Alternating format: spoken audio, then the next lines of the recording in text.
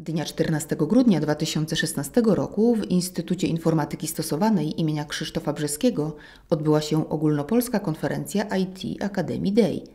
Witam Was wszystkich na 11 konferencji IT Academic Day organizowanej przez studentów dla studentów. Tą formułkę przez studentów dla studentów powtarzam co roku, bo jest to ważne, aby podkreślić, że robią to Wasi koledzy i robią to dla Was.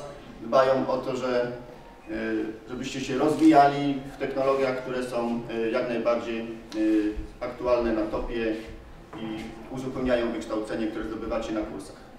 Jest to wydarzenie w ramach cyklu corocznych konferencji technologicznych organizowanych przez studentów kół naukowych grup NET i IT. Konferencja IT Academic Day. Organizujemy ją we współpracy z, firmy, z firmą Microsoft, a jest przede wszystkim skierowana do miłośników branży IT oraz osób, które chcą zrobić coś więcej poza studiami.